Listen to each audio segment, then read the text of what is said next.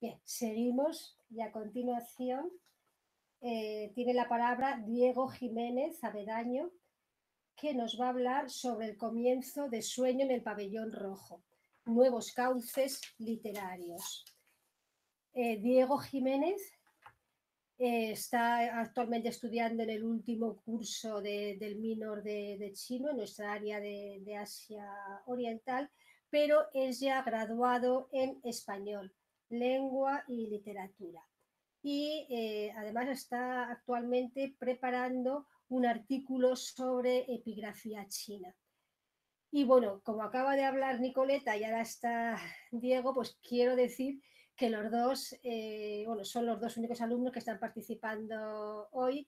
Los dos han sido alumnos míos en la asignatura de, de literatura china y también en chino 1 y he de reconocer que creo que di en el clavo, porque a los dos les concedí la matrícula de honor. Entonces, bueno, ahora su, esfuerzo, su esfuerzo, se ve recompensado. ¿Tiene usted la palabra, Diego? Bueno, muchas gracias, Consuelo, por tu presentación. Eh, ¿Se me escucha bien? Sí, muy bien. Bien, voy a compartir la pantalla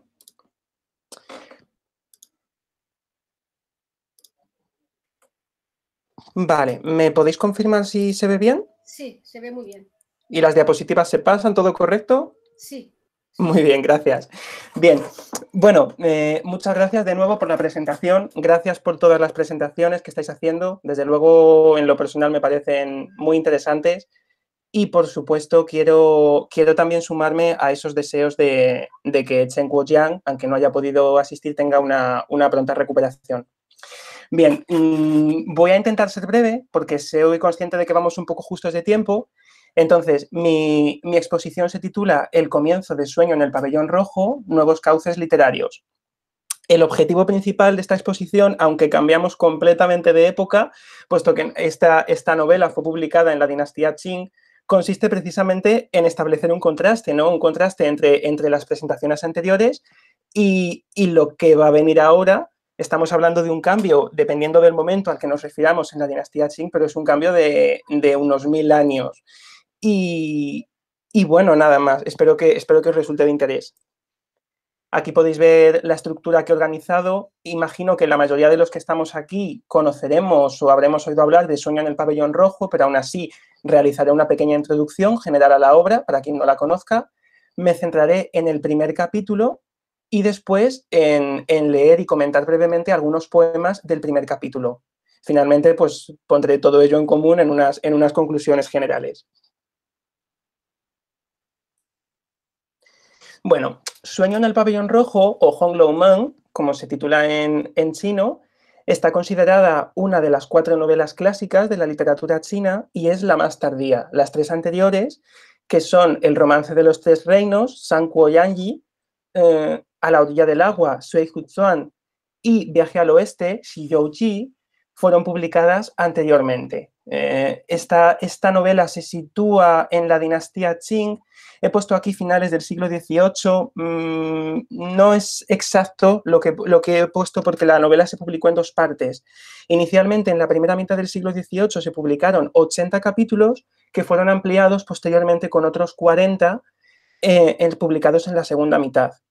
Su título inicial era Memorias de una roca, y esto tiene sentido porque la novela realmente constituye la narración de una roca que, que, se, fue, se reencarnó en, el jade de las comunicaciones trascendentales tiempo y, estuvo, bueno, por sus ansias de conocer el mundo, estuvo, estuvo experimentando, conociendo a diversos personajes y nos relata todas las historias que se han, que, ha experimentado, que ha presenciado. Su autor es Chao Shui-chin, a quienes confirman que se trata de una novela autobiográfica, aunque debo insistir en que, en que seguramente parte de la novela no haya sido escrita por él de la novela que conservamos actualmente. El argumento principal podríamos decir que es una historia de amor que termina de manera trágica entre Jia Paoyu y Lin Taiyu. Son dos, dos jóvenes que comparten una relación de parentesco, son primos, y aunque esta es la que se considera la trama principal, sería erróneo afirmar que, constituye todo el libro. pues, pues la novela es muy extensa y a lo largo de ella se introducen muchísimos personajes secundarios, muchísimas tramas secundarias y escenas de la vida cotidiana de entonces. Hay numerosas interpretaciones. Eh, la, más, la principal de ellas afirma que, que la novela constituye una crítica a la sociedad feudal del momento y tiene un amplio repertorio de personajes. Realmente es una lectura complicada de seguir porque, porque bueno, hay más, de, hay más de 400 personajes introducidos, introducidos en la obra.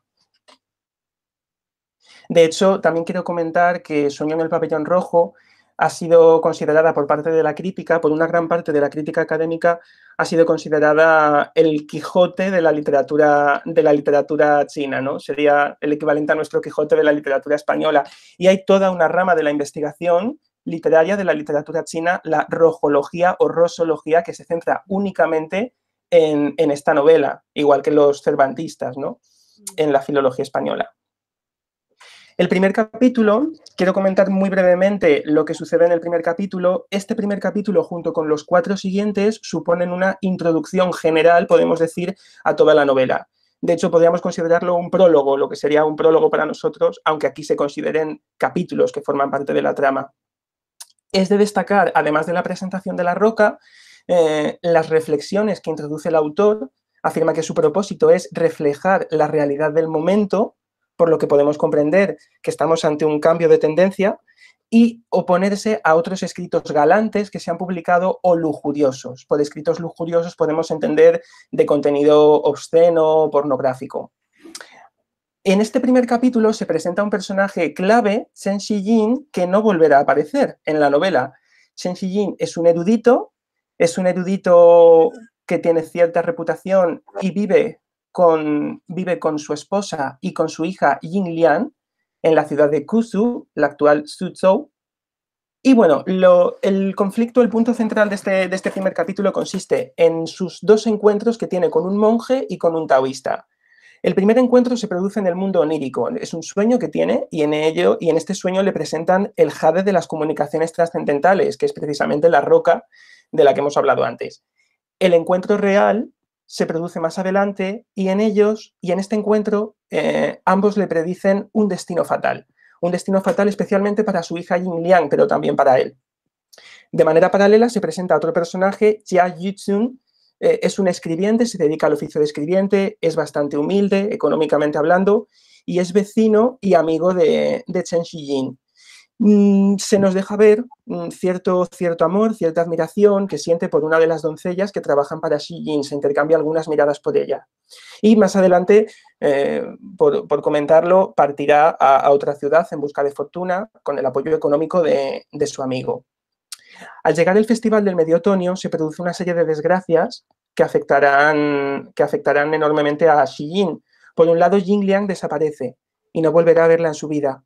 Un incendio destruye el templo de la calabaza, que es el templo al lado del, cual vive, vivía él con su esposa, y su propia vivienda, su propio domicilio. Lo que provocará que se tenga que ir a vivir con su esposa a casa de su suegro y la mala relación con su suegro, con Feng Shu, eh, se va a ir complicando. Su, suegro mm, tratará de estafarlo y cuando él se entere de esta estafa, eh, bueno, tendrá, tendrá un encuentro con, otro hombre, hablaré de esto más adelante y decide marcharse y abandonar a su esposa y a su, y a su suegro.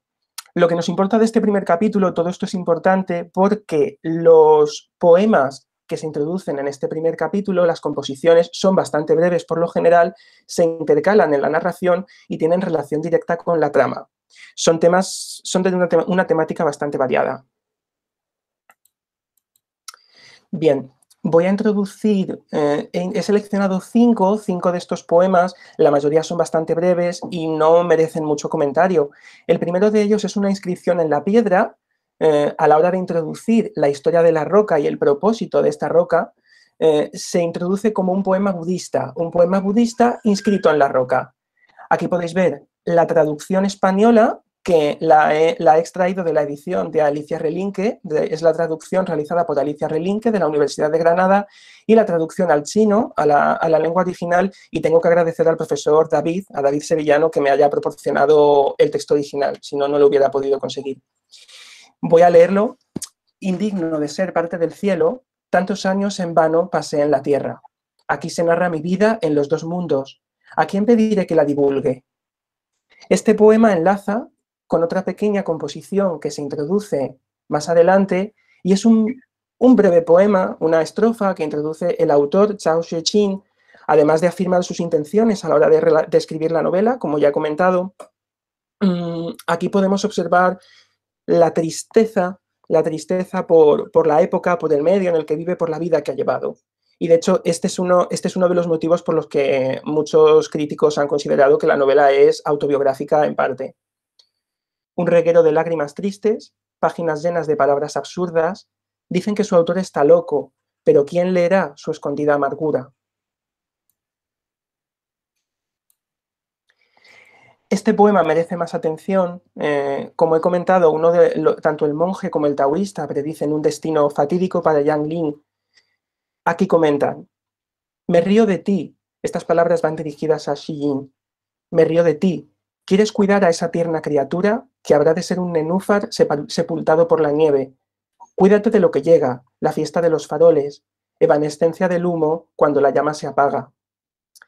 Lo que he señalado aquí son unas metáforas. Por un lado, Nenúfar se está refiriendo evidentemente a la hija de Xi a Yang Ling, sepultado por la nieve.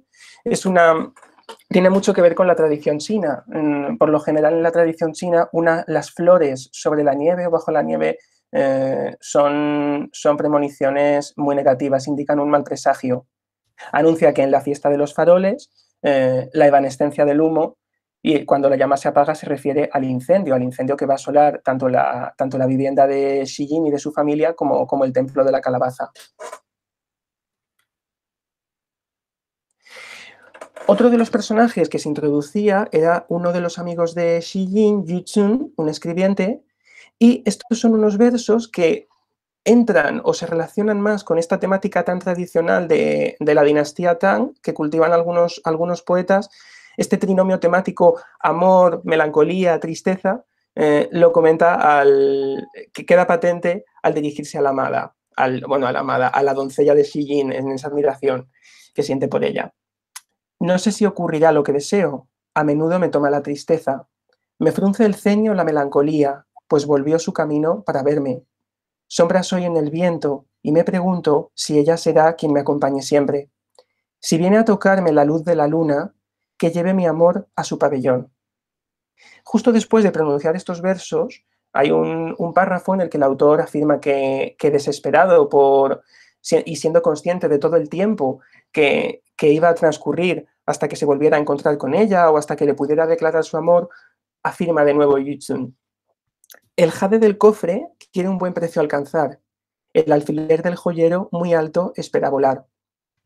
Quiero comentar esto brevemente puesto que tiene que ver con una leyenda que se transmitió a partir de la dinastía Han. Se comenta que durante el reinado del emperador Wu Ti de la dinastía Han, una diosa introdujo un alfiler de jade en un cofre. Cuando años más tarde, durante, dentro de la misma dinastía, todavía el emperador, durante el reinado del emperador Chao Ti, este cofre se abrió de manera subrepticia, escondidas, de manera oculta, sin haber esperado el tiempo adecuado, ese alfiler de jade no estaba. Salió una golondrina volando del cofre. Esta es una metáfora precisamente sobre... Aquí va referida, por supuesto, a, en, el tema amoroso, ¿no? Está relacionada con el ámbito amoroso, pero es una metáfora referida a la elección del momento adecuado para actuar con, con efectividad, ¿no? Debemos esperar el momento oportuno y ser pacientes. Por último, he querido introducir una canción. Eh, recordemos que cuando Chen Shijin se marcha a vivir con su suegro, si lo recordáis, después de la destrucción de su templo, sé que son muchos datos los que he introducido, mm, se encuentra con otro taoísta. Este taoísta eh, comienza a cantar esta canción que titula Todas las cosas buenas se acaban y habla precisamente de la vanidad, de la vanidad de las cosas y de los bienes mundanos. Afirma, los hombres anhelan la inmortalidad, pero nunca olvidan los lujos y el rango. ¿Dónde andan, ¿Dónde andan ahora los grandes de antaño? Las hierbas silvestres recubren sus tumbas. Los hombres anhelan la inmortalidad, pero nunca olvidan la plata y el oro. Se pasan la vida amasando dinero para que la muerte les selle los ojos. Los hombres anhelan la inmortalidad, pero no olvidan a las bellas esposas que juran amor eterno a sus maridos y se vuelven a casar en cuanto mueren. Los hombres anhelan la inmortalidad, pero traen hijos al mundo sin cesar. Padres cariñosos veréis a montones. ¿Quién ha visto que un hijo ame a su padre? Creo que queda bastante, bastante clara la finalidad de, esta canción. Y precisamente, como mención especial, Xi Jin, tras escuchar esta canción del monje, eh, responde con, otra canción también, no la he incluido entera porque es bastante larga, pero más o menos reflexiona sobre este mismo tema, aunque introduciendo situaciones más realistas.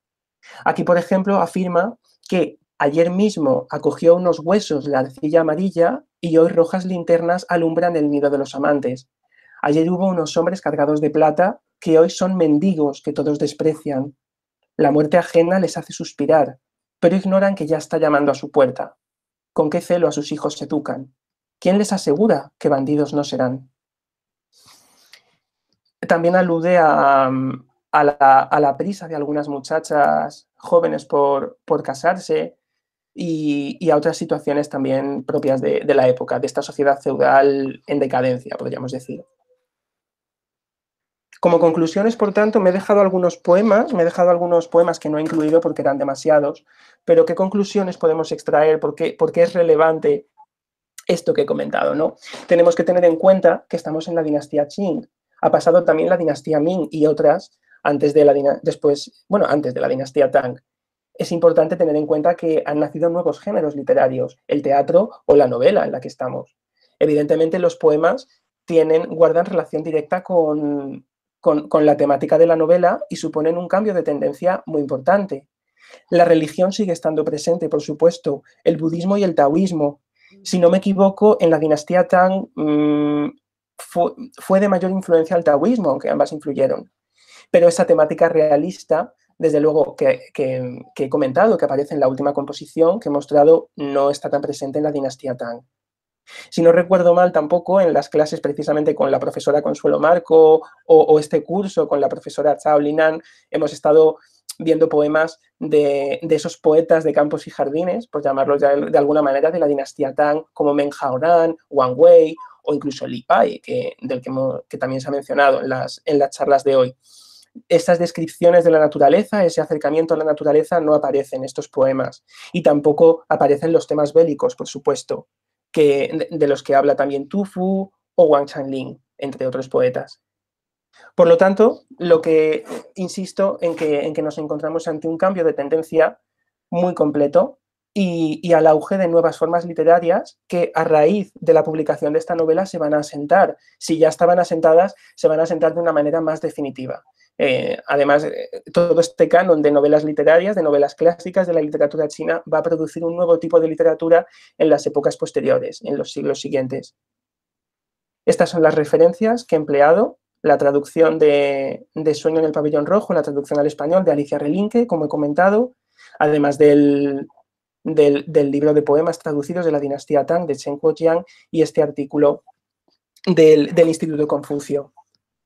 Y, esta es mi intervención. Espero que os haya gustado a todos, que os haya interesado y muchas gracias por escucharme.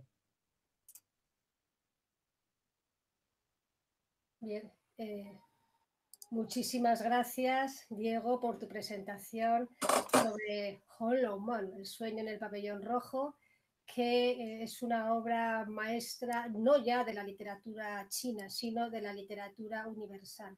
Y que, como usted muy bien ha mencionado, ha sido comparado con la influencia que ha ejercido el Quijote en la literatura española. Bien, con él damos ya por finalizada esta segunda sesión.